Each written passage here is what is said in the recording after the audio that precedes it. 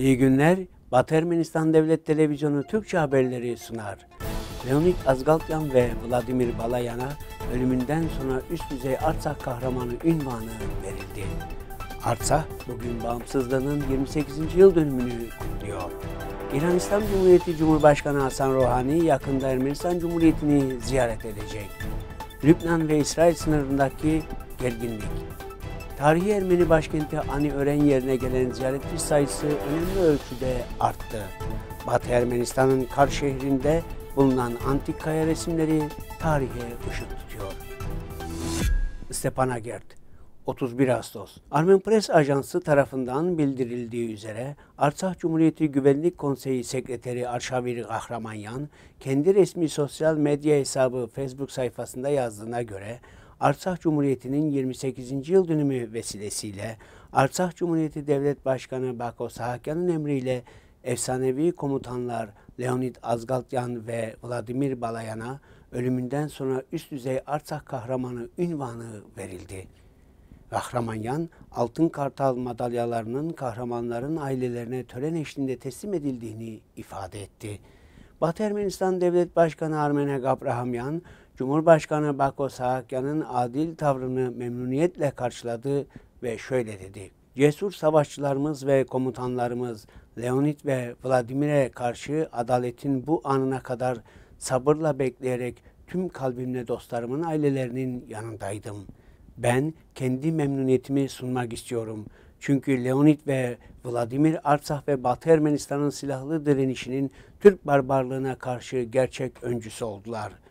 Tüm kurtuluş savaşçılarını Kurtuluş Ordusu Savaşçıları Birliği'ne katılarak saflarımızı güçlendirmeye davet ediyorum. Şan ve şeref büyük kahramanlara. Armenak Abrahamyan, Batı Ermenistan Cumhuriyeti Devlet Başkanı.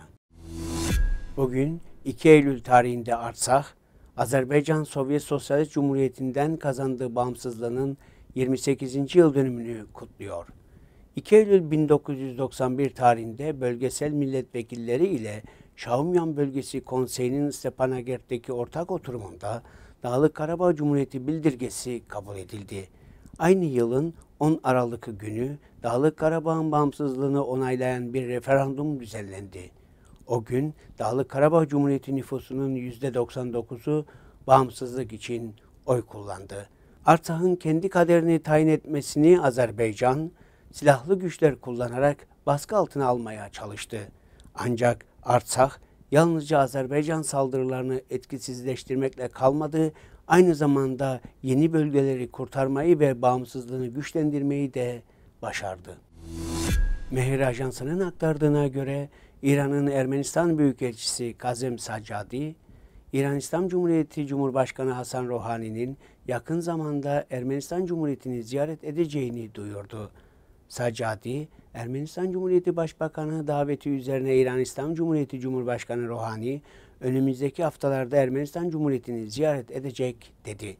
Daha önce Ermenistan Cumhuriyeti Başbakanı Nikol Paşinyan, İran İslam Cumhuriyeti Cumhurbaşkanı'nı Avrasya Ekonomik Konseyi'nin 1 Ekim tarihinde Yerevan'da gerçekleşecek olan üst düzey oturumuna katılmaya davet etti.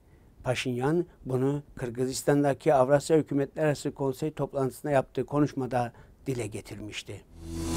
Reuters ajansı İsrail Silahlı Kuvvetleri'nin Hizbullah halk güçlerince kontrol edilen Lübnan'ın güney sınırı boyunca ilave birlikler konuşlandırdığını bildirdi. Daha önce kaynağın belirttiğine göre İsrail'in insansız hava araçları yangın mermileri kullanarak Lübnan ve Suriye sınırındaki Al-Rus ve Kıfar Şuba tepelerine ateş açtı. Hizbullah halk savaşçıları buna cevap olarak İsrail siperleri doğrultusunda karşı ateşte bulunarak zırhlı bir aracı ve birkaç İsrail askerini öldürdü.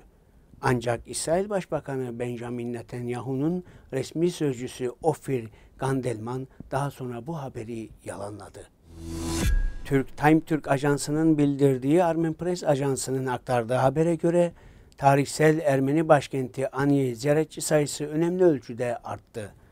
Bagratuni Ermeni Krallığı'nın başkentini medeniyetler beşiği, binbir kilise şehri gibi tanımlarla nitelendiren ajans, Ani'nin ziyaretçi sayısının özellikle Ani'nin UNESCO Dünya Mirası listesine dahil edildiği Temmuz 2016 yılından bu yana önemli ölçüde arttığını ifade etti. Batı Ermenistan'ın Kars şehrinde tarihe ışık tutacak yeni keşifler gerçekleşti. Kars bölgesinde bulunan yeni kaya resimlerinin ilk incelemelerinde bunların Tunç çağına ait olduğu bildirildi. Yeri şimdilik saklı tutulan bölgede keşfedilen kaya resimleri ile Batı Ermenistan'ın tarihini aydınlatabilecek verilere ulaşılabileceği belirtiliyor. Burada tahribat yapılmış, taşlar kırılmış ve kaçak kazı çalışması yapılmış.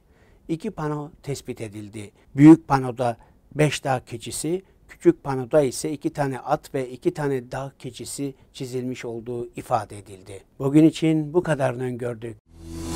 Şimdi size Agung adlı folk topluluğundan Hoynar Caniman adlı eserini sunuyoruz.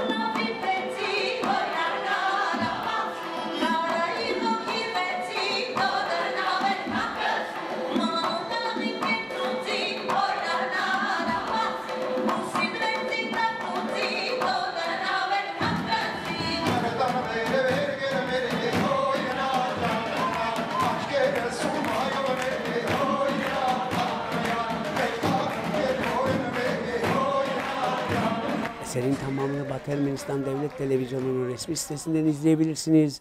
Hoşça kalın.